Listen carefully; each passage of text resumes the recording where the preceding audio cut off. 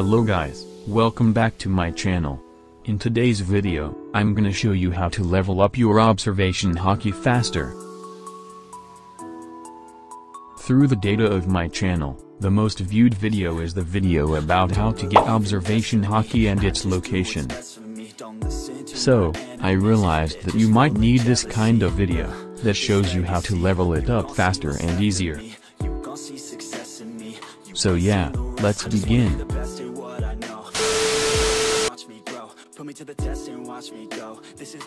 So first thing to do, go to the NPCs that can hit you. Well I personally recommend this upper yard in Sky Island, because the NPC here is close to where you spawn, which cost low travel and time consumption.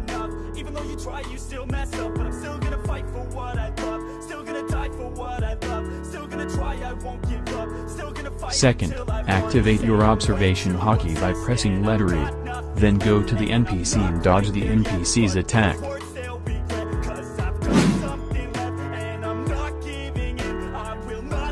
Note, when dealing normal NPC, the cost of every attack you can dodge is 0.5, it means you can dodge 2 times of the maximum of your observation haki. For example, if your maximum haki is 8, when dealing with normal NPC you can dodge it 16 times.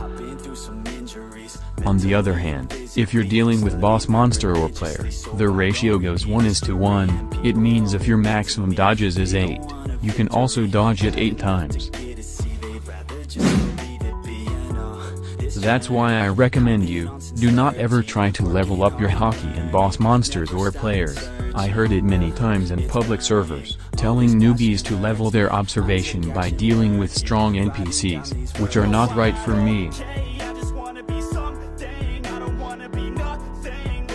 Now then in final phase, after you go to NPC and use all your dodges, leave the server and rejoin again, then just repeat the process until you reach the max level of observation haki.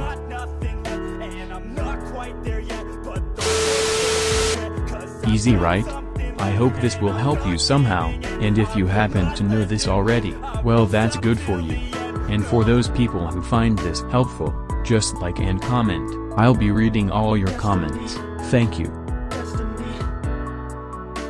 Now, continue grinding guys, and goodbye. God bless you always.